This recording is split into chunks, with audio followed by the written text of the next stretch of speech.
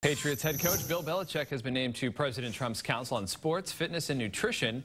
Belichick and Trump have been personal friends for a number of years. Earlier this week, a New York Times report claimed the president's chief of staff told people the president and Belichick spoke on the phone recently about Tom Brady's status with the team.